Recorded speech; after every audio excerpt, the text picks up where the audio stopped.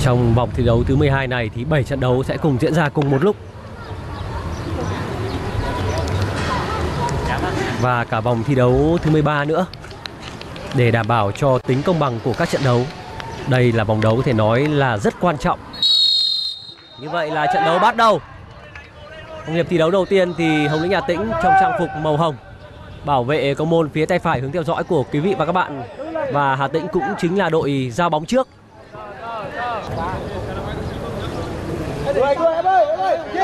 Chiều cao của Rodrigo là 1m90.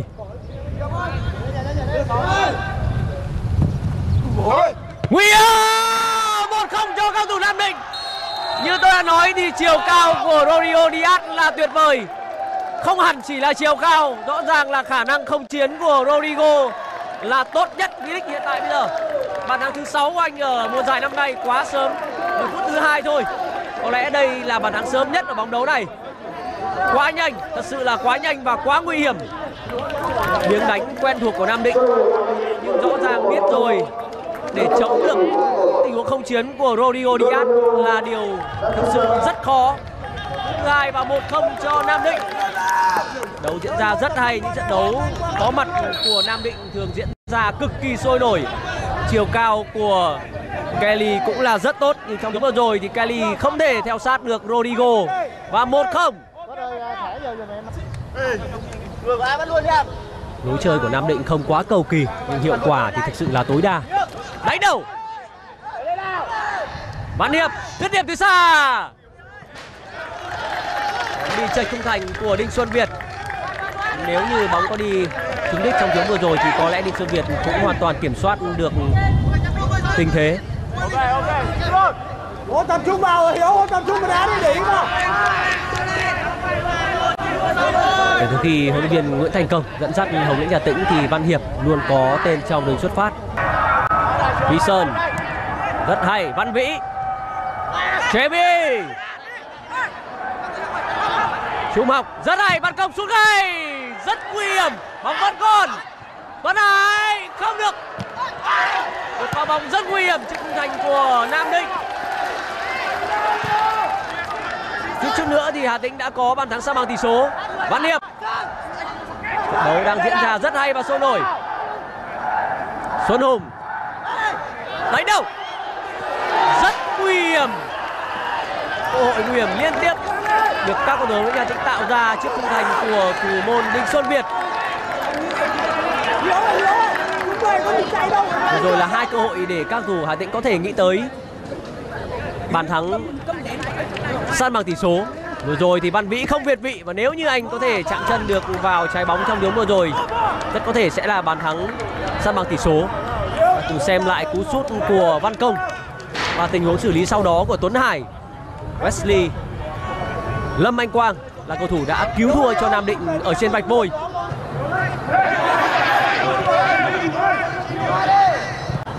Xử lý rất chững chạc của Văn Hiếu. Nhả bóng về rất nhẹ của Xuân Tân Gol! Vừa rồi là một tình huống xử lý rất ẩu nơi hàng phòng ngự của Nam Định suýt chút nữa thì họ phải trả giá. Đầu tiên phải nói đến pha nhả bóng về của hậu vệ cánh phải Xuân Tân. Sau đó là một loạt những tình huống xử lý không thực sự an toàn của thủ thành Đinh Xuân Việt. Nếu như Trung Học có một pha để bóng cảm giác hơn thì chắc chắn sẽ là tỷ số cho cao thủ Hà Tĩnh trong pha bóng vừa rồi.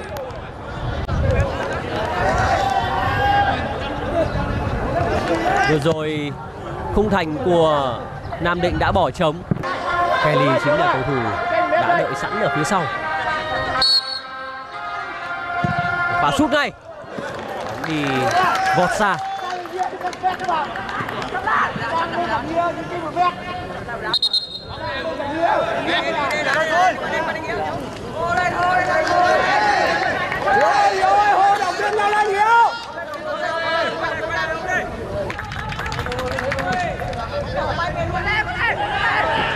ở Gia Lai năm nay người ta hay nhắc tới những cái tên như là Văn Toàn, cái tên như là Công Phượng, như là Minh Vương, Tuấn Anh, Xuân Trường. Rồi bắt hiệp rút rút bóng nguy hiểm, một đều. Tỷ số là hoàn toàn xứng đáng. Hồng Lĩnh Hà Tĩnh trong những phút vừa qua tấn công và ép dân liên tục và điều gì đến phải đến.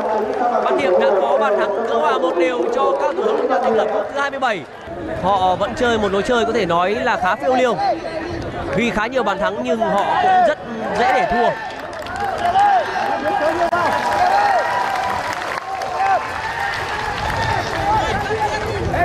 Người kiến tạo cho Văn Hiệp ghi bàn đó là Phi Sơn. Và phòng ngự không quyết đoán của cao thủ Nam Định tình huống sút bóng có thể nói là tốc nóc lưới của Văn Hiệp.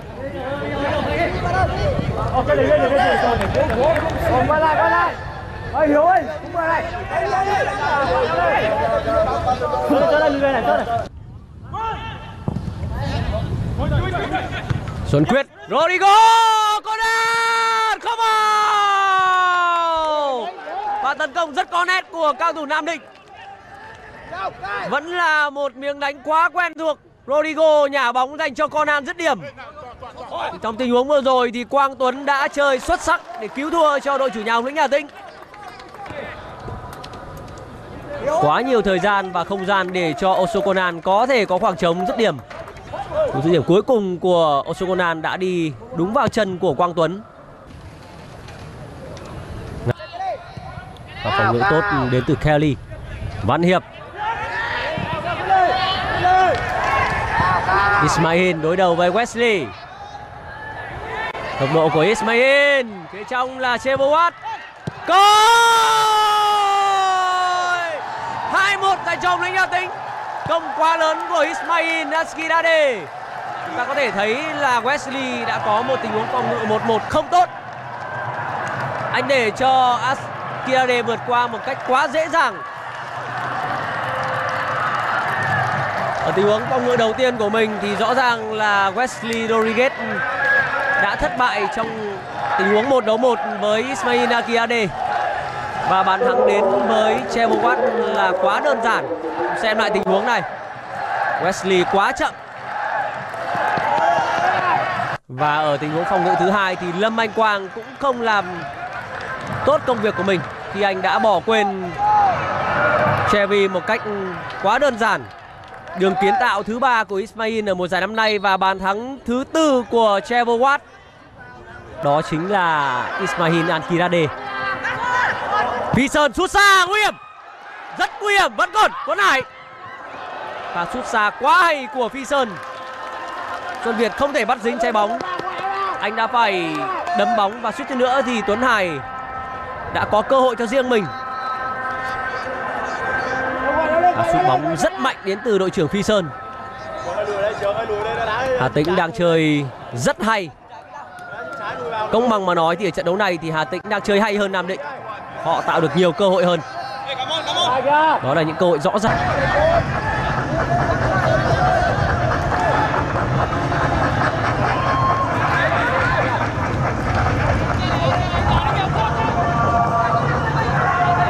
Đánh đầu nguy hiểm Suýt chút nữa thì Askirade đã có bàn thắng. Rất may cho Nam Định. Tình huống tổ chức tấn công rất có nét của Hà Tĩnh.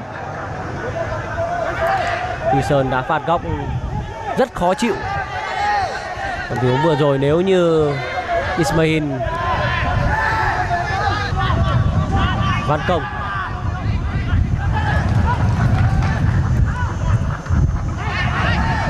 Vâng phối hợp rất nhịp nhàng của Hồng Lĩnh Hà Tĩnh. Bên phải là Xuân Hùng. Phía trong đó là Ismail và Chevy Nguy hiểm Bàn thắng quá đẹp. 3-1 cho cao thủ Hồng Lĩnh Hà Tĩnh. Không thể khác được. Xuân Hùng quá thoải mái bên phía cánh phải. Và khi ở bên trong đó là hai cầu thủ rất cao to. Chevy và Askidade. Bàn thắng đầu tiên của Ismail Askidade ở mùa giải năm nay.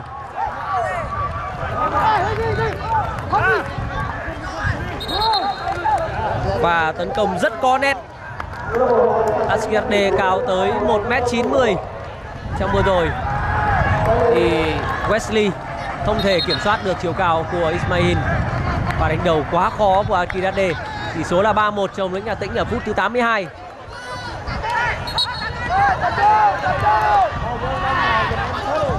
pha không chiến thất bại của trung vệ Wesley Rodriguez. Ngày hôm nay chúng ta có thể thấy là một ngày thi đấu không thành công của Wesley. Cả hai tình huống mà Wesley đối đầu với Alkirade anh đều thất bại. Tuấn Hải.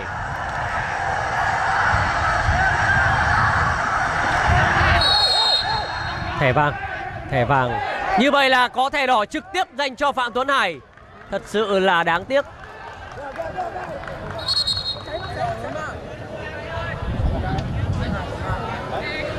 Một tình huống xử lý rất quyết đoán đến từ trọng tài Ngô Duy Lân.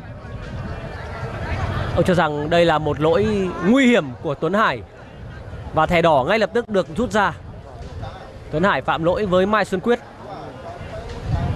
Hà Tĩnh đang dẫn 3-1 và rõ ràng là họ cần phải tránh những tình huống như thế này.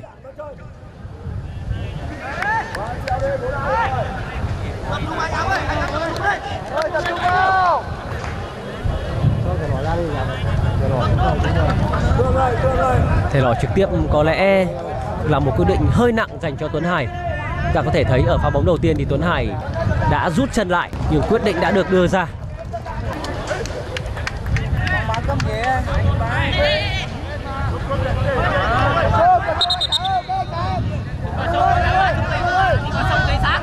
Cao, cao.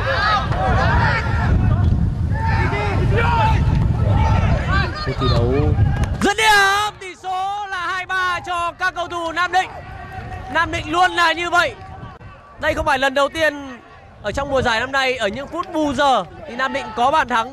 Và vừa rồi lại là một cái tên quá quen thuộc, Rodrigo Diaz một pha sút bóng bằng chân không thuận của tiền đạo này Hà Tĩnh vẫn luôn là đội bóng như vậy họ vẫn để thua một cách tương đối dễ dàng ở những phút cuối trận, nhưng rất may cho Hà Tĩnh ở thời gian gần đây thì hàng công của họ chơi bùng nổ số bàn thắng của Hà Tĩnh luôn vượt trội so với số bàn thua. Chính vậy họ luôn giành điểm số tối đa.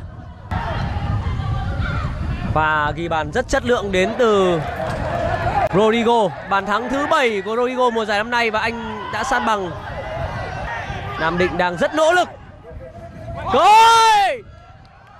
Không được. Rất đáng tiếc. Cầu thủ chạm bóng cuối cùng đó là Wesley Rodriguez Như vậy cuối cùng thì tiếng còi kết thúc trận đấu đã vang lên. Tỷ số cuối cùng Hồng Lĩnh Hà Tĩnh đã giành chiến thắng 3-2 trước đội khách Nam Định. Một trận đấu rất hay, trận đấu rất hay nữa. Chiến thắng thứ ba liên tiếp của huấn luyện viên Nguyễn Thành Công ở đấu trường V-League sau khi ông dẫn dắt Hồng Lĩnh Hà Tĩnh. Một trận đấu mà công bằng mà nói thì rõ ràng là Hà Tĩnh chơi hay hơn so với đội khách Nam Định. Nhưng rõ ràng là ý chí của Nam Định thực sự cũng rất đáng khen trong trận đấu này khi tỷ số là 3-1 thì Rodrigo một lần nữa ở những phút bù giờ lại rút ngắn tỷ số xuống còn 2-3 nhưng nó không giúp cho Hà Tĩnh, nó không giúp cho Nam Định có thể có được một điểm trong trận đấu này. Và vòng đấu tiếp theo thì Nam Định sẽ phải gặp Đà Nẵng, một trận đấu khó khăn của Nam Định. Nam Định sẽ phải cần thêm 3 điểm nữa để có thể chắc chắn có được một trong 6 đội ở giai đoạn 2. Trong khi đó thì Hồng Lĩnh Hà Tĩnh tiếp tục đà thăng hoa của mình với chiến thắng thứ ba liên tiếp ở V-League. Một chiến thắng có thể nói là hoàn toàn xứng đáng cho đội quân của huấn luyện viên Nguyễn Thành Công. Thưa quý vị các bạn, như vậy là trận đấu của chúng tôi xin được kết thúc ở đây. Cảm ơn quý vị đã quan tâm và theo dõi và bây giờ xin kính chào tạm biệt và hẹn gặp lại quý vị các bạn ở vòng thi đấu thứ 13 ở mùa giải năm nay.